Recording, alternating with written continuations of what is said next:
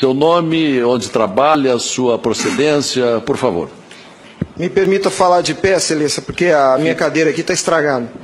Bom, esse é, é o problema. Eu sou Felipe Marcelo Jimenez, eu sou procurador do Estado de Mato Grosso do Sul, minha OAB é MS 7580. Estou aqui representando a Associação Pátria Brasil. E não é propriamente uma pergunta, excelência. Eu, eu quero usar uma expressão lá da tua terra. Nós somos advogados, o senhor é advogado, eu sou advogado. E quando esses cientistas falam da tecnologia da informação, nós ficamos mais perdidos que Cusco em procissão. Ah, essa é uma frase muito dita lá. Pois é. Acontece que o nosso povo vem sendo enganado por essa máquina, essa arapuca, porque sempre que olhamos para o problema tentamos enxergá-lo através da tecnologia. E na verdade, Excelência, nós temos que olhar para essa máquina com a luz da lei. Antes da ferramenta, deve prevalecer a ordem jurídica. A ferramenta deve servir a ordem jurídica e não o inverso, excelência. Nós estamos vivendo uma inversão, onde a ordem jurídica é posta de joelhos diante da ferramenta. Por falar em colocar de joelhos, a conduta do ministro Gilmar Mendes em protelar por dois anos o cumprimento dessa lei deu motivo ao impeachment, ao pedido de impeachment. E eu, e eu vou mais além. Me parece que, na verdade, a conduta dele configura o crime de prevaricação, porque se omitir na obrigação do ofício é prevaricação.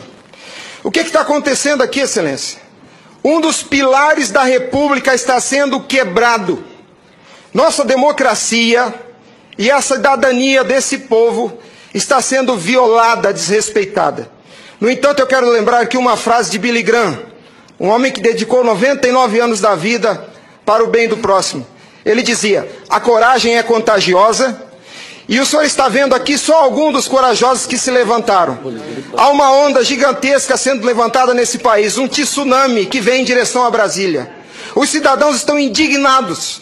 O Tribunal Superior Eleitoral não pode recusar o cumprimento à lei.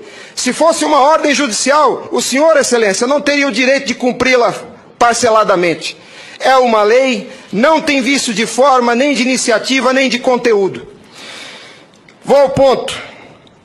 Fala-se muito da máquina, eu quero falar do ato jurídico. O senhor, como advogado, entende bem desse assunto.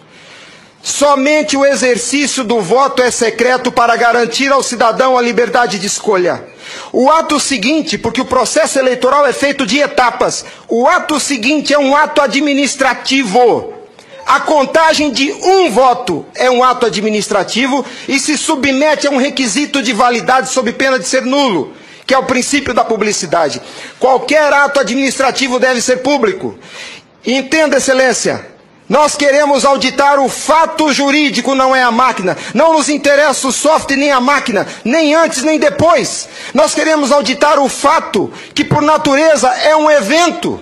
O evento se perde, por isso a necessidade de dar corpo físico ao fato da contagem do voto, para que se conheça, para que se cumpra o princípio da publicidade, porque a publicidade é erga omnes. É para todos os cidadãos, não é só para o eleitor que olha no visor. Essa contagem do voto deve ser feita para que todos os cidadãos tenham a oportunidade de fiscalizá-la. E não é a contagem de milhões de votos. É a contagem de um voto, de cada voto é um ato administrativo. E será nulo se não for público. Há vários princípios constitucionais que vêm sendo quebrados desde que a Sarapuca foi inventada lá em 97. A cidadania, a publicidade, a moralidade, a legalidade e a própria república. Porque nós, cidadãos, não temos sido respeitados na nossa escolha. Nossa escolha só será respeitada se ela for retratada no corpo físico da impressão para cumprir o princípio da publicidade. O voto, o exercício do voto é secreto, mas a contagem deve ser pública. E qual que é a artimanha da urna? Ela estende o segredo do exercício até a última etapa. E o sagrado BU, eu vou usar uma expressão de alguém, eu não lembro quem é o proprietário dessa frase. A seita do santo baite tem no altar o BU. O BU não prova nada, excelência. Quando o BU é imprimido, já houve a contagem dos votos em segredo. A fraude já aconteceu. Porque cada voto contado deve ser público. O BU informa ao senhor, excelência, o total.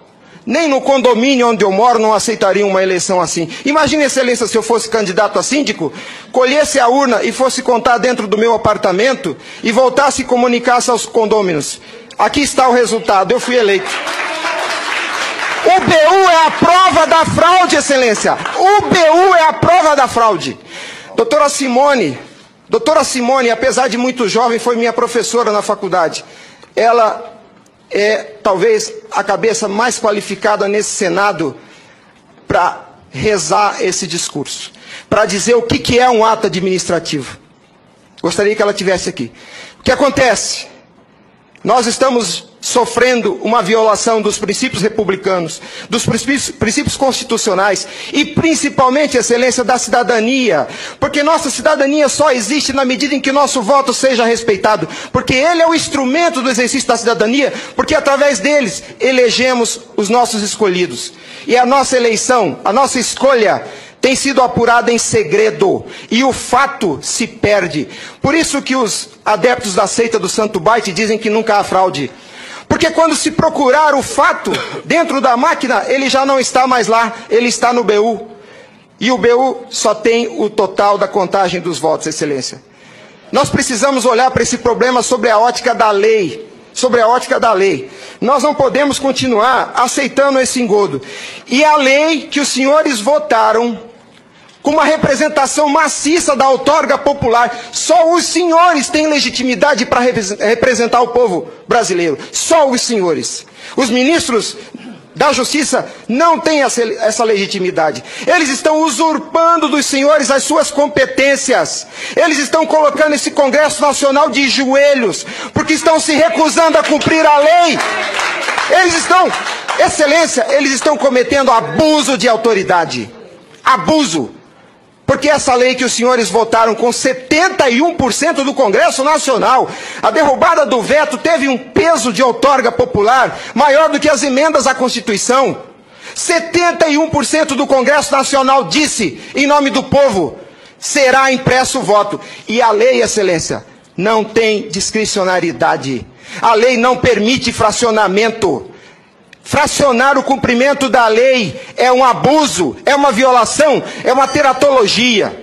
Não há possibilidade de se fracionar o cumprimento da lei. Imagine o senhor, se o senhor fosse sujeito passivo de uma ordem de Gilmar Mendes, se ele aceitaria ouvir do senhor o seguinte: é, ministro, eu vou cumprir sua ordem, um pouquinho a cada ano. Até 2050, Gilmar Mendes, eu termino de cumprir a sua ordem. Imagina que ele aceitasse isso do senhor. A lei não tem discricionariedade. Não é possível cumpri-la pela metade. Em resumo, é isso, Excelência. E por fim, o direito dos senhores, a sua autoridade como representantes do povo, está sendo vilipendiada. E por quem? Vou dizer mais: não é por juízes. Os ministros, quando sentam na cadeira do Tribunal Superior Eleitoral para administrar esse serviço público, que é a eleição, a eleição é um serviço público, não é jurisdição. Não é um ato jurisdicional. Quando eles lá, sentados em seus gabinetes, estão administrando o processo eleitoral, são administradores sujeitos aos princípios constitucionais, como qualquer agente do executivo. A hibridez, a hibridez da justiça eleitoral tem confundido o povo. Mas a, a competência se dá, a função se dá em razão do cargo, não do indivíduo. Quando eles estão se desincumbindo do processo eleitoral, estão executando ato administrativo, não são juízes.